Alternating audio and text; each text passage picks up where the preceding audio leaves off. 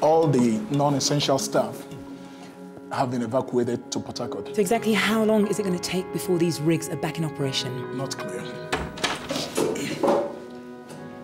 Mr. Harker. Mr. Burmy, this is Mr. Jeff Harker. He's the production manager on the rig. Thank you very much for coming in, Mr. Harker. You were on the rig on the day of the attack. Yes, ma'am. Can you tell me what happened? I, um, I was doing the night shift, and just before dawn, I heard powerboats. I, uh, pff, didn't think anything of it, but suddenly, out of the blue, there were these armed men everywhere on the platform. They just took over, running around, hitting people down with their guns. Where were you? I was up in the observation tower, watching all this happen down below me. I know it's really difficult